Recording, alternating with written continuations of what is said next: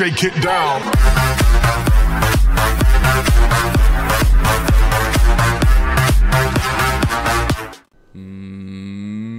Moin beste Community, da bin ich wieder, euer Zeddy. Und in diesem Video zeige ich euch, wie ihr das VIP-Anführer-Outfit wieder speichern könnt. Ganz normal wie früher. Und das auch noch komplett solo. Das ist doch geil, oder? Und das pünktlich zum Wochenende. Was ihr dazu machen müsst, ihr müsst erstmal an die Theke gehen in irgendeinen Klamottenladen. Das spielt erstmal gar keine Rolle in welchem. Dann geht ihr auf Outfits, auf Raubüberfall Overalls und wählt den roten Overall aus. Und den müsst ihr dann auch noch speichern. So, wenn ihr das dann gespeichert habt, das Outfit, dann zieht euch irgendein anderes Outfit, das ihr davor irgendwie gespeichert habt, an. Also es spielt gar keine Rolle welches, es darf nur nicht das rote Overall-Outfit sein, sondern irgendein anderes. So, so, so, so.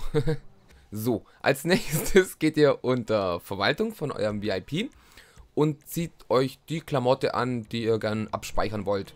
So, ich habe mich jetzt für den kleinen chinesischen Jungen entschieden, weil der mir einfach am besten gefällt, aber wie gesagt, es ist, spielt keine Rolle. Dann geht ihr ganz normal unter Online, Jobs, Jobs spielen von Rockstar erstellt und startet irgendeine Mission. Ich habe jetzt einfach mal die äh, erste Mission genommen, die Titan. Und den startet ihr dann alleine. Wenn ihr jetzt also in dem Job angekommen seid, müsst ihr nichts anderes machen, als in euer Apartment zu fahren, um euer Outfit zu ändern. Ihr könnt es leider nicht über das Interaktionsmenü machen, weil das sperrt Rockstars im Moment gerade. Also ich habe es probiert, über Interaktionsmenü geht nicht. Deswegen die lange Fahrt ist ins Apartment. Und dann müsst ihr wieder ähm, auf die Outfits gehen und dann den gerade eben gespeicherten roten Overall anziehen und wieder das Apartment verlassen.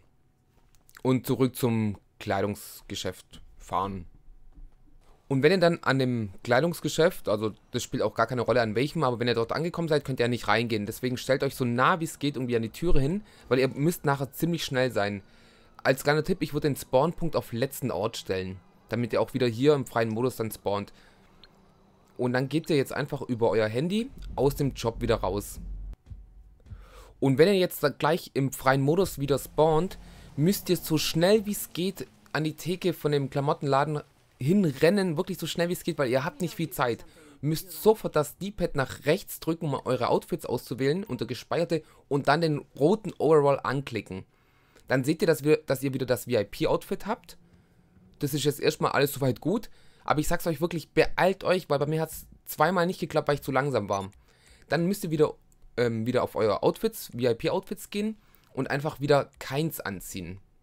Und wie ihr seht, habt ihr immer noch das VIP-Outfit an, obwohl ihr eigentlich gar keins ausgewählt habt. Und das ist doch super, oder? Dann könnt ihr ganz normal an die hübsche Thekenfrau hingehen und dort das Outfit dann speichern und dann habt ihr das. Das könnt ihr theoretisch mit allen VIP-Outfits machen. So, das war es eigentlich auch schon mit dem Glitch. Ich hoffe, der hat euch soweit gefallen. Wenn es so ist, dann lasst mir ein Like da. Oder wenn ihr neu auf meinem Kanal seid, damit ihr nichts verpasst in Zukunft, könnt ihr mich auch gerne abonnieren. Und ich zeige euch jetzt gerade noch draußen, dass es wirklich unter meine in, äh, unter gespeicherte Outfits wirklich drin ist, dass da jetzt, dass ich keinen Schmur erzähle oder so. In diesem Sinne bin ich jetzt draußen und dann sehen wir uns beim nächsten Video. Also Jungs, haut's rein, macht's gut und wir sehen uns beim nächsten Video. Beste Community. Da, da, da.